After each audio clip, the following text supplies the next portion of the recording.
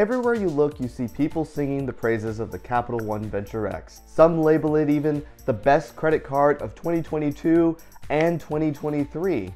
And it's no wonder why. On paper, it's a no-brainer because of the $300 travel credit and the 10,000 point anniversary bonus, all for a $395 annual fee that includes airport lounge access, Visa Infinite concierge services, and important travel protections, and more. But keep in mind, this card has only been out for a couple of years, and so far it has not yet proven itself when it comes to long-term sustainability. If it truly is unsustainable, that upsets me for two reasons. First, having an unsustainable card could be a way of cornering the market which actually stifles competition and doesn't help it. Number two, people are buying into a card like this only to have the rug pulled from under them when the card benefits become unaffordable and they have to be cut. And that could have implications for all these people's credit scores. Bait and switch marketing at its finest. I'm not saying which it might be because I honestly don't know, but just know that an unsustainable card just isn't good for anyone. In today's video, let's take a look at whether the Venture X is sustainable by looking at premium card offerings from its competitors. Before we get into that though, do me a favor and hit the like button down below, subscribe, and turn on notifications for the YouTube algorithm. I come out with videos periodically where I offer unique perspectives on cards that are typically overlooked, so make sure you subscribe so you don't miss any of that.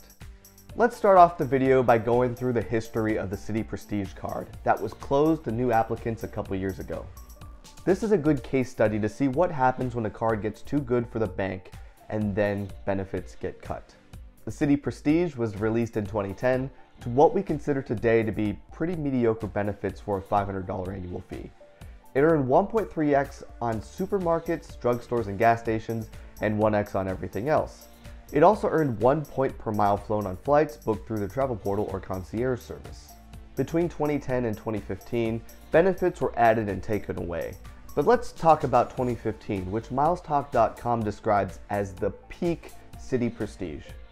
The best the card would ever be and a gold standard for premium credit cards on the market.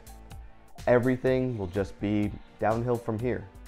At its peak, it earned 3x back on flights and hotels, 2x on entertainment and dining, and 1x on everything else. Pretty mediocre for today's standards, but keep in mind that was almost 10 years ago. It had a $250 credit for flights, priority pass, and unlimited fourth night free for hotels. That fourth night free benefit was the main selling point for everyone getting this card. There was also the golf benefit, allowing three rounds of golf per calendar year, run by a company called Golf Switch, saving hundreds and hundreds of dollars in green fees. There was also the ability to buy American Airlines flights in the thank you portal for 1.6 cents per point in value, and it came with American Airlines Admirals Club lounge access when flying American Airlines. Very similar to the way that the American Express Platinum comes with Delta Sky Club membership when flying Delta. All of this for now a $450 annual fee. It was only two years later in 2017 that the cuts began coming. Keep in mind, the Chase Sapphire Reserve was also just released, and that put a lot of pressure on the Citi Prestige as well. In 2017, the Citi Prestige lost the Admirals Club access, the golf benefit, the 1.5 cent per point airfare redemptions, now 1.25 cents per point, and the 1.6 cents per point redemptions on American Airlines. So quite a lot to lose in the span of a single year. In that same year, however, they did change the dining, airfare, and travel bonus categories to earn 5x points per dollar, so maybe not a total loss. In 2019, fourth night free got limited to just two uses per year and now needed to be booked through the website or the travel portal. Redemptions via the portal dropped even further to 1 cent per point, and the annual fee rose to $495 from $450.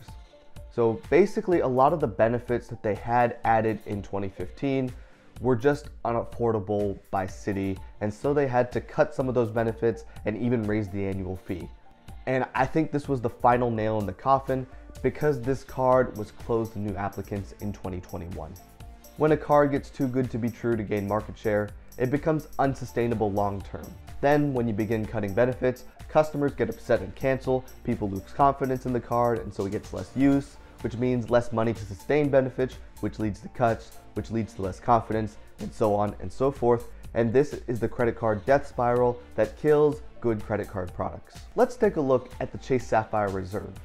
This card has a $550 annual fee and $300 of credits that most people will use. This leaves a $250 annual fee with tons of benefits like airport lounge and restaurant access, insurance benefits, and great multipliers. However, this card does make you work a little bit to come out even with the annual fee. But if you know what you're doing, you can get outsized value for this annual fee.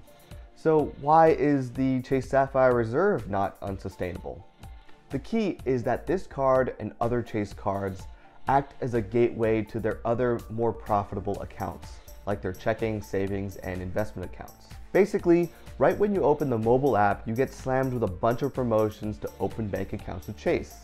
Depending on the demand for their banking products, Chase credit cards act more or less as loss leaders to bring customers in. For American Express, again, their annual fees are high, and they have convinced people to pay almost $850 in annual fees for an Amex trifecta.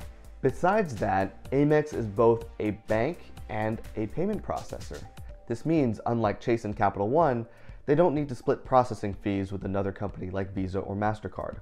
Not only that, they also have other banks offering cards that use American Express as a processing network, like Macy's Amex card offered by Citibank or previously the Wells Fargo Propel card. Now, let's look at the Capital One Venture X.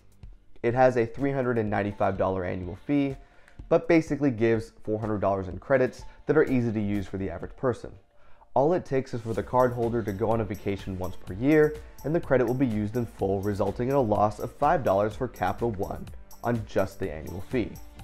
Then we add in costs for insurance benefits, lounge access, purchase protections, and all the other costs of operating this credit card, and they're definitely coming out much further behind. Capital One is not a payment processor like American Express, and they use Visa Infinite for the Venture X, so they have to split interchange fees just like Chase does. However, it does not appear that they can use this card as a loss leader for their high margin banking products, since it doesn't appear that they have any.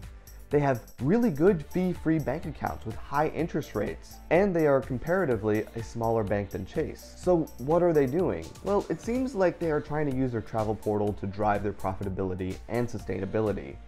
However, there is a problem with that. They will either have to overcharge you or lose money.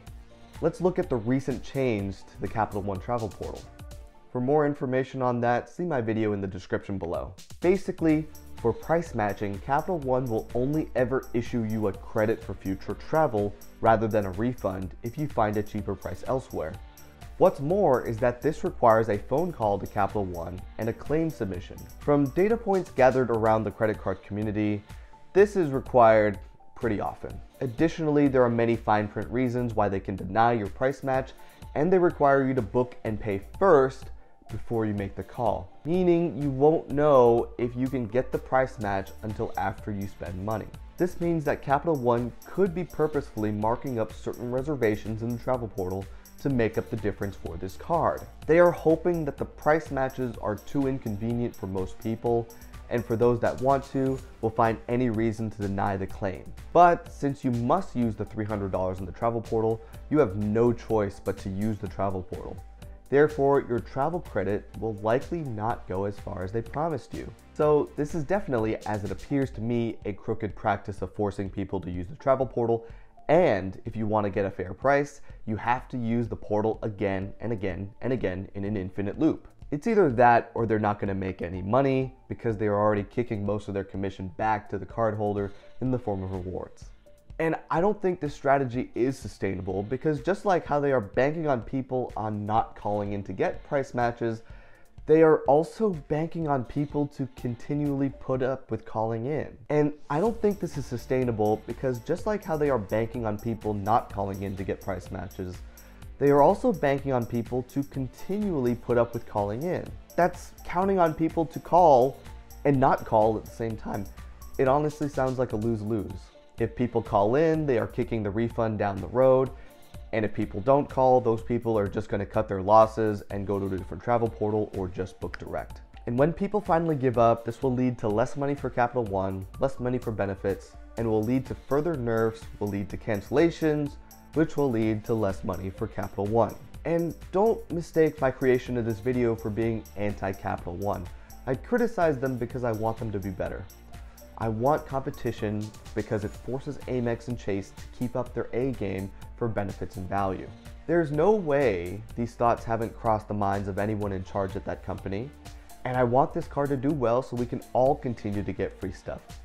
What are your thoughts? Let me know in the comments down below. If you like this video, I have other videos that you can check out using the link to my channel in the description down below.